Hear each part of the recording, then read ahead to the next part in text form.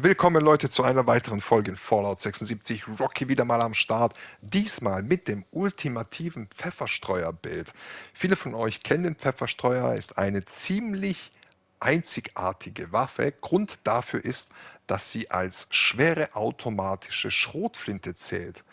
Was bedeutet, dass sie von den Perk-Karten der Rubrik schwere Waffen profitiert, aber auch der Rubrik der Schrotflinten was letztendlich bedeutet, wir können den Schaden wirklich immens erhöhen und dadurch dann auch hohen Schaden verursachen. Aber hier geht es ja um den ultimativen Pfefferstreuerbild und wir wollen auch ultimativen Schaden verursachen.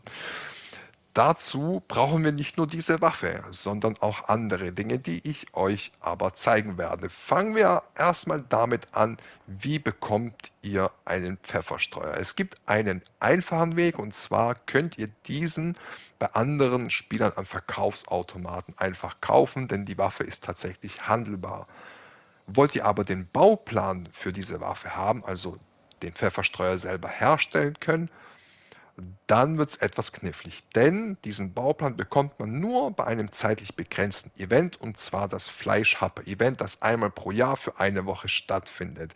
Hier habe ich aber gute Neuigkeiten. Im Jahr 2023, also diesem Jahr, findet das Event zwei Wochen lang statt und zwar vom 29. August 2023 bis zum 14. September. Also falls ihr euch das Video anschaut und das Event ist noch nicht vorbei, dann schnell rein da die das Event farmen bzw. immer wieder absolvieren, denn ihr bekommt unter anderem auch den Bauplan für den Pfefferstreuer, aber auch andere einzigartige Baupläne, die ihr auch nur in diesem Event bekommt. Gut, ich würde sagen, wir gehen mal an die Waffenwerkbank und schauen uns mal genauer an, wie diese Waffe aussieht und was sie kann. Wollt ihr die Waffe nun herstellen, findet ihr sie unter der Rubrik Schwere Waffen. Pfefferstreuer und ihr seht es rechts, ihr benötigt den Waffenschmied auf Max-Level, bedeutet auf Rang 5. Dann könnt ihr die Waffe auf Stufe 35 bis Stufe 50 herstellen. Die Mods dieser Waffe schaltet ihr frei, indem ihr die Waffe einfach immer und immer wieder verwertet.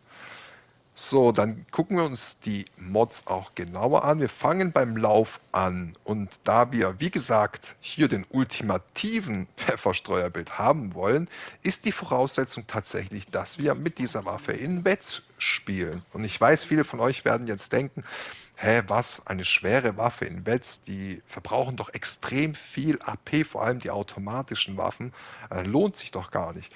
Hier eine gute Nachricht, der Pfefferstreuer verbraucht weniger als die üblichen schweren automatischen Waffen äh, in Fallout 76, jedoch nicht wenig, also immer noch viel.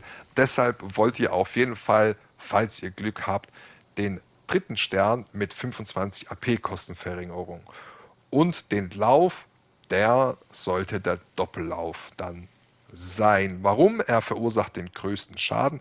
Hexbarrel hat zwar eine höhere Waffengeschwindigkeit und zwar nicht wenig, aber wir gehen voll auf Schaden. Warum?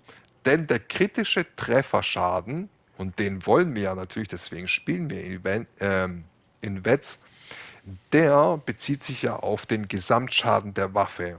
Und der wird enorm hoch sein. Das verspreche ich euch. Ich selber sehe diese Waffe sogar als Top-Tier-Waffe mit diesem Bild.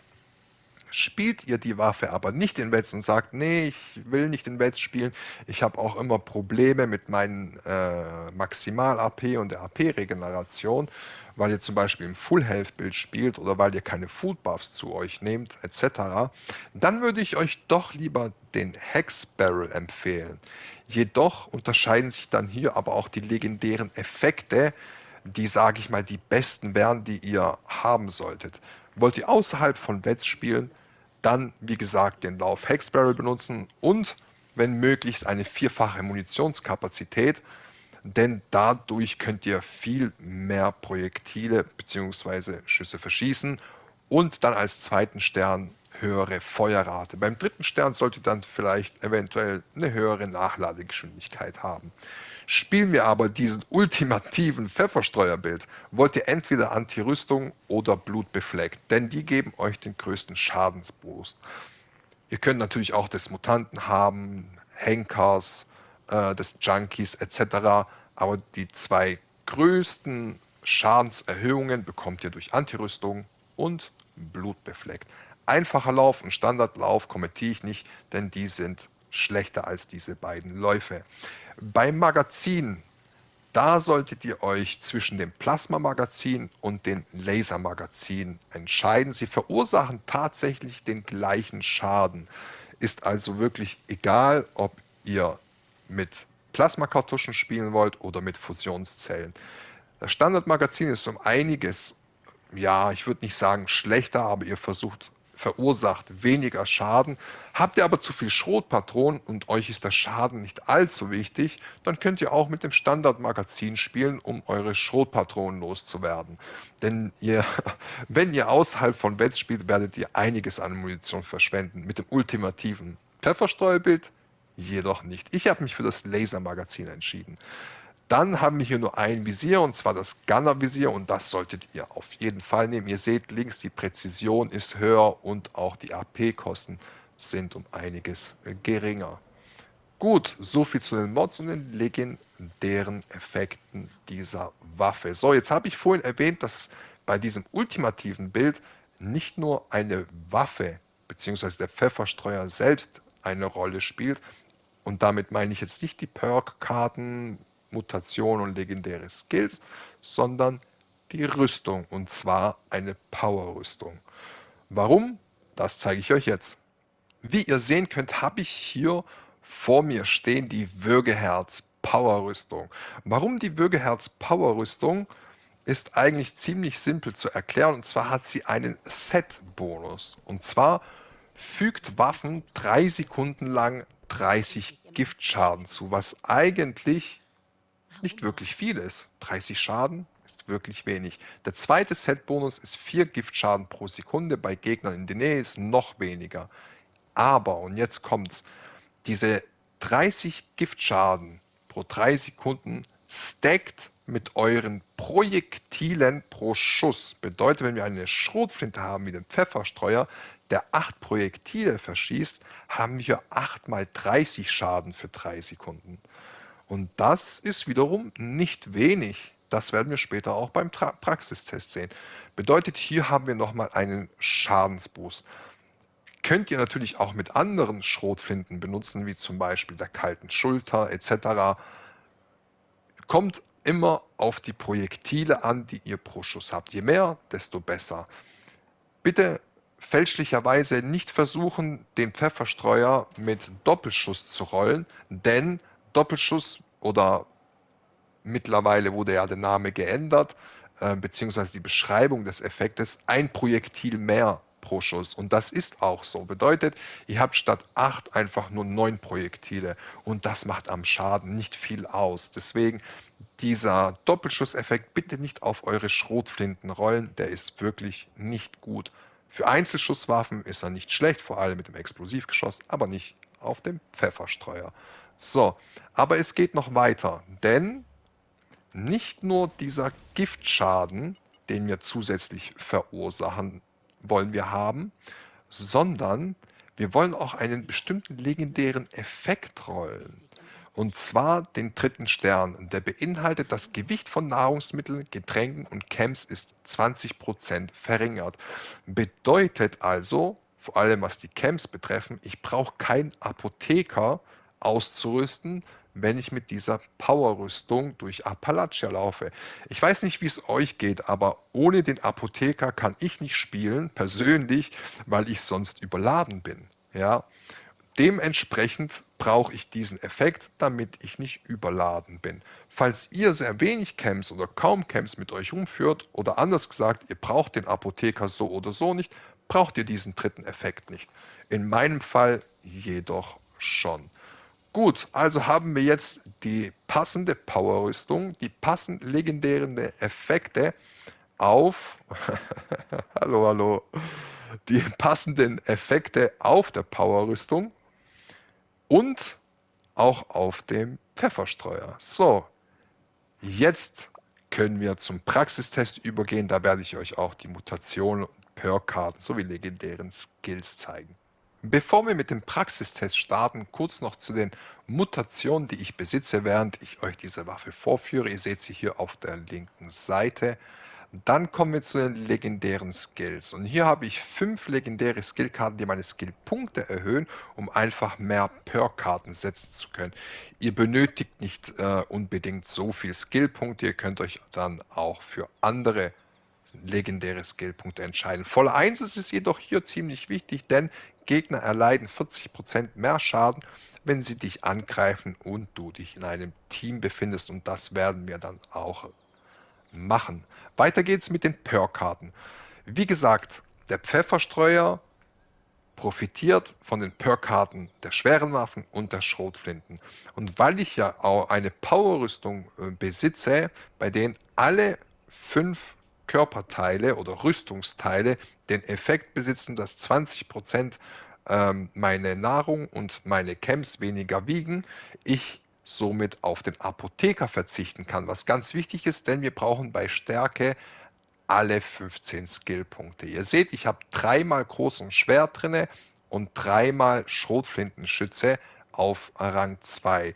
Wenn ihr auf etwas Schaden verzichten wollt, dann würde ich euch vielleicht auch raten, nur ein Stern jeweils bei äh, Profi-Schrotflintenschützen reinzunehmen und dann noch eine Karte entweder durchladen, schwere Waffen werden schneller durchgeladen, oder für die Schrotflinte gibt es auch was Spezielles und zwar, na, wo haben wir es? Schrotflinten-Fan. Hier, Schrotflinten wiegen 90% weniger und werden 30% schneller durchgeladen. Denn die Waffe hat eine etwas längere Nachladegeschwindigkeit, würde ich sagen. Wie gesagt, ähm, ist auch eine schwere Waffe. Machen wir weiter. Wir haben Skeet-Schießen drin, bedeutet unsere Waffen bzw. unsere Schrotflinten haben eine bessere Präzision und Streuung. Und diese ist enorm. Deswegen würde ich euch raten, vor allem wenn ihr außerhalb von Wets spielt, diese Rüste, äh, Karte auch auszurüsten, habt ihr eine bessere Genauigkeit. Konzentriertes Feuer habe ich auch auf Max-Level, weil, wie gesagt, ultimative Bild, wir wollen im Wetz spielen. Dann haben wir noch Fleischklopfer drin für mehr Schaden. Nerdwood, klar, weil ich gerade im Blutig-Bild spiele. Und dann noch stabilisiert. Stabilisiert ist extrem wichtig, denn wir ignorieren damit 45% der Rüstung des Gegners. Und gerade bei schweren Gegnern, wie zum Beispiel eine Meyerlock-Königin, Brandbestien oder Weltenboss, die sehr viel Rüstung besitzen, habt ihr mit dieser Karte wirklich eine große Schadenserhöhung. Also deswegen bin ich auch in der Power-Rüstung drin. Batterien enthalten ist vielleicht auch eher optional, aber ihr wisst ja, Plasma oder Fusionszellen benutzen wir ja und wenn wir eine automatische Waffe, wie in dem Fall die Schrotflinte, den Pfefferstreuer spielen, werden wir viel Munition mit uns tragen, weil wir auch viel verschießen. Und die wiegen nun mal ein bisschen was. Deswegen hier vielleicht Batterie enthalten auch ähm, eine Möglichkeit. Action Boy, ganz wichtig, wir spielen den Wetz, wir wollen auch eine schnelle Regeneration unserer AP haben. Mit Nachdruck. Eine Perk-Karte, die ich nur empfehlen kann, allgemein, wenn ihr mit Schrotflinten-Builds spielt. Denn Habt ihr diese auf Rang 3 ausgerüstet, ist euch fast garantiert mit nur einem Schuss ein Körperteil des Gegners komplett zu verkrüppeln, denn das stackt mit euren Projektilen. Reicht eigentlich schon auf Rang 1, da benötigt ihr dann aber doch manchmal zwei oder drei Schüsse mehr, was trotz allem sehr wenig ist gerade bei Brandbestien und Brandbestienkönigin hilfreich, damit sie landet. Denn ihr wisst, Schrotflinten verursachen nur guten Schaden, wenn ihr euch nah am Gegner befindet, aus großer Entfernung und auch hier leider der Pfefferstreuer, sein einzigster Nachteil. Aus großer Entfernung verursachen wir um einiges weniger Schaden.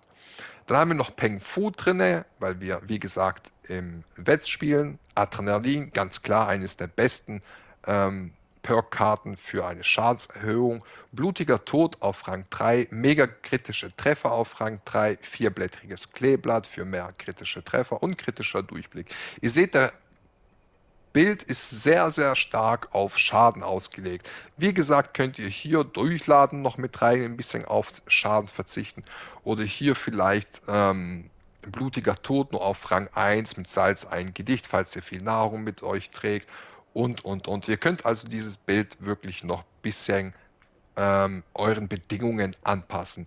Hier gerade voll auf Schaden ausgelegt. Gut, Leute, so viel zu den Perkarten, legendären Skills und Mutationen. Ich würde sagen, jetzt ab zur Action. Und bevor wir mit der Action starten, ganz kurz noch zum Pfefferstreu, den ich benutzen werde. Ihr seht es hier, Anti-Rüstung und plus 50 mehr kritischen Trefferschaden. Ein sehr gut gerollter Pfefferstreuer. Ich würde mir hier natürlich noch wünschen 25 AP-Kostenverringerung in Wets. Aber man kann ja nicht alles haben. Wäre dann auch schon ein God-Roll. Und an dieser Stelle vielen Dank an die Community. Wirklich, ihr seid die Besten. Denn ich hatte vor zwei oder drei Tagen in Discord reingeschrieben, dass ich keinen guten Pfefferstreuer gerollt habe oder gerollt bekommen habe und auch im Stream habe ich es einmal erwähnt und siehe da, es haben sich gleich so viele bereit erklärt, mir einen Pfefferstreuer zu leihen, sogar zu schenken oder zu verkaufen. Also wirklich Wahnsinn. Danke für den Support, Leute. Ich weiß das wirklich zu schätzen. Daumen hoch. Aber auch alle an, an alle anderen, so jetzt habe ich es an alle anderen, die mich unterstützen, die meine Videos liken, kommentieren und auch abonnieren. Tausend Dank. So, jetzt habe ich aber eine dicke Schleimspur hinterlassen. Ich würde sagen, wir fangen jetzt an mit dem Praxistest. Ich nehme nur ganz kurz noch etwas giftiges Wasser zu mir. Ich sehe gerade, ich bin nicht ganz blutig. Na, wo haben wir es?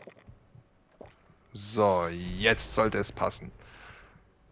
Wir fangen auch erstmal außerhalb von Wets an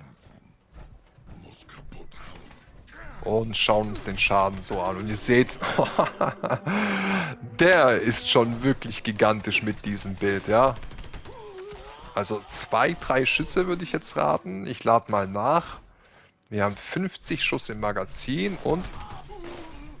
Ja, das waren jetzt vier Schüsse.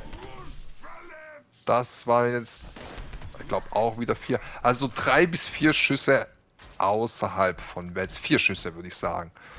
Aber jetzt kommt's. Wir haben ja unser Bild auf Wets, sage ich mal, ausgelegt. Aufgepasst. Wir schießen natürlich auf den Kopf. Ein Schuss und aufgepasst oben, schaut euch die Anzeige an. Er verliert weiterhin Energie und das ist der Giftschaden. Und das war auch nicht wirklich wenig. Ja.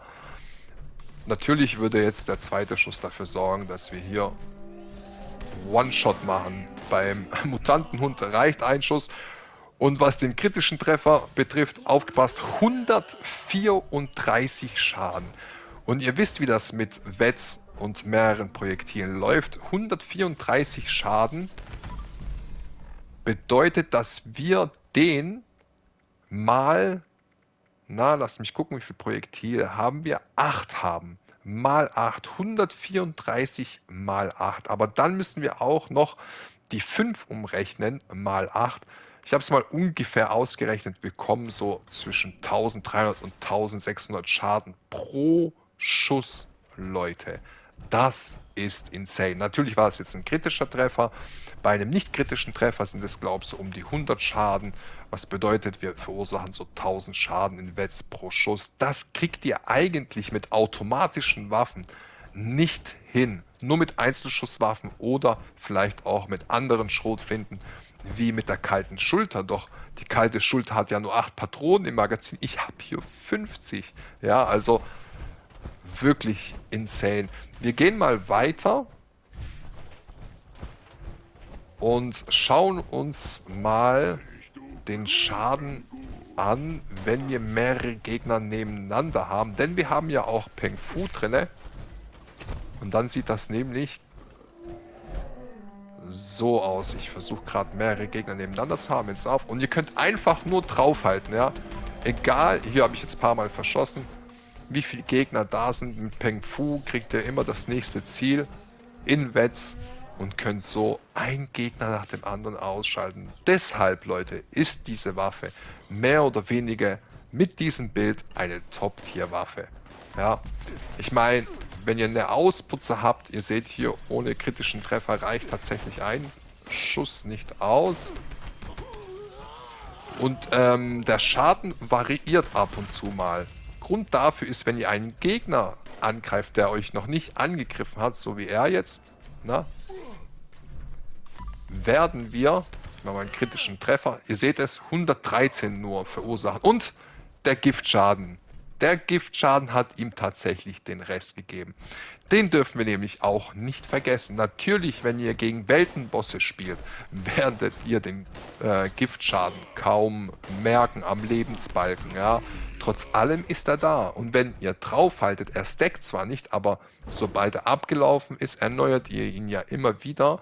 Und dann hochgerechnet, wie viel ihr mit der Waffe an Schaden angerichtet habt zusätzlich mit dem Giftschaden gibt das eine wirklich sehr hohe Zahl.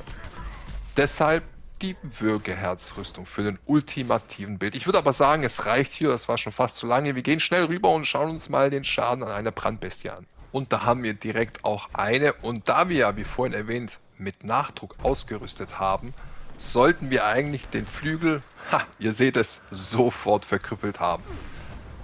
Sie sollte jetzt auch landen und dann schauen wir uns mal den Schaden genauer an. Oh, wir haben hier noch Verbrannte, da können wir uns auch noch mal den Schaden anschauen, den wir mit Gift verursachen. Achtet mal, ihr seht es einmal und zweimal und dreimal. Also der Giftschaden ist nicht zu unterschätzen. Natürlich haben kleinere Mobs, sage ich mal, wie diese Verbrannten, ähm, absolut keine Chance. Vor allem bringt der Giftschaden hier auch nicht wirklich was, denn sie sind meistens schon von uns erledigt. Vor allem, wenn wir in West spielen. Und ihr seht, die AP-Kosten sind gar nicht mal so hoch. Ich muss aber dazu sagen, ich habe natürlich auch Nahrungsbar für mehr AP, habe auch ein Klavier gespielt, Instrument solltet ihr im Übrigen auch immer machen, denn dadurch habt ihr mehr AP und eine höhere AP-Regeneration. So, und wieso ist diese nicht gelandet? Ah, sie hat ihren Flügel regeneriert. Jetzt sollte sie wieder landen. Nehmen wir sie ins Visier. Beziehungsweise, wenn sie nicht will, können wir eigentlich direkt... Ach nein, da kommt sie schon. Erstmal kurz ohne Metz. Und ihr seht, der Schaden wirklich gut. Und jetzt aufgepasst, Leute. Okay? Wie viele Schüsse waren das? Vier, fünf? Ich weiß nicht. Klar, sie hat nicht voll Energie, aber nichts. Gar kein Problem. Nochmal, das ist eine automatische Schrotflinte. Kein richtig starkes Einzelschussgewehr. Ja. Und der Schaden kommt einfach so zusammen, dass wir so viele Perk-Karten setzen können, weil sie in der Rubrik schwere Waffen vertreten ist und auch in der Rubrik Schrotflinte. Gehen wir zum ultimativen Gegner hier in Appalachia, ausgenommen natürlich der Weltenbosse, zur Meierlo-Königin. So Leute, und wir haben hier auch schon eine Meyerlo-Königin Level 100 und noch als Gebietsboss. Dementsprechend kümmern wir uns erstmal hier. Und ihr seht, der Schaden aus der Entfernung ist wirklich nicht der beste, muss man leider sagen.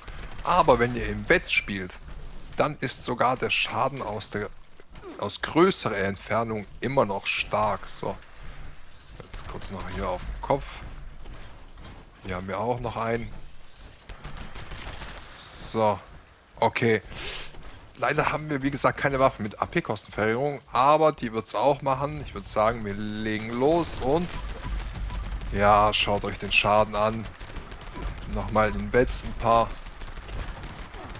Ja, ein Magazin, locker. Hätten wir tatsächlich die AP-Kostenverringerung, dann würde das natürlich ganz anders aussehen. Dann würden wir viel weniger Munition verschwenden, aber ihr seht, eine Meyerlook-Königin, gar kein Problem, Level 100 Gebietsboss. Somit hier dieser ultimative Pfefferstreuer-Guide. Vielleicht ist er etwas für euch, ich weiß, er ist sehr speziell. Ihr könnt ihn ja auch so umbauen, nach, ähm, sage ich mal, euren Bedürfnissen. Ihr könnt vielleicht auf weniger äh, Schaden gehen, also auf etwas Schaden verzichten, höhere Nachladegeschwindigkeit oder ihr verzichtet komplett auf Wets und entscheidet für euch für eine vierfach Munitionskapazität mit höherer Feuerrate und haltet dann halt einfach länger drauf, aber ihr habt natürlich die hohe Kapazität an Munition. Ich hoffe, das Video hat euch gefallen. Wenn ja, Like da lassen, kommentieren und abonnieren. Euer Rocky und bis auf bald.